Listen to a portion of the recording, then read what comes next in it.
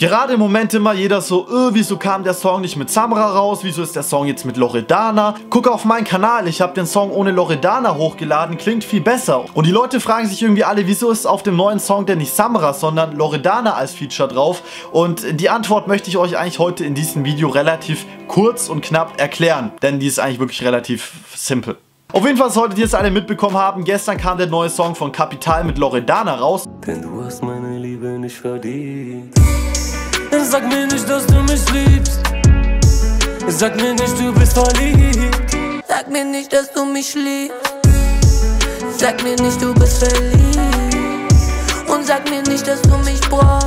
Und direkt nach dem Release, auch schon bei meiner Reaction, gab es in den Kommentaren so einen kleinen Shitstorm. Und zwar, warum der Song jetzt nicht wie scheinbar mal irgendwann ursprünglich geplant mit Samra.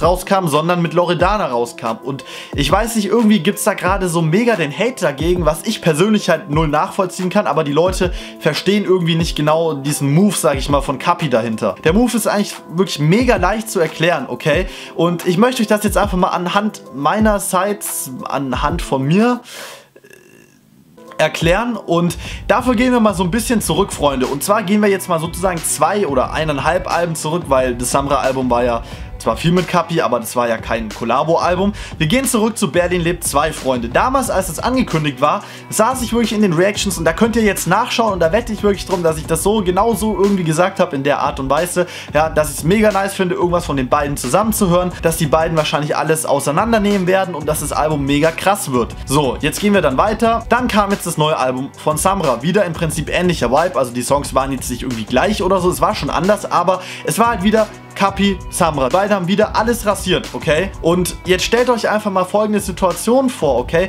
Damals war das so von wegen, ey, es kommt ein neues Album von Kapi und Samra raus und so, oh geil, Mann, ey, mega nice, freue ich mich drauf und so. Und jetzt denkt einfach mal so weiter. Wenn jetzt jemand käme und würde so sagen, ey, hast du schon mitbekommen, Digga, neues Album von Kapi mit Samra.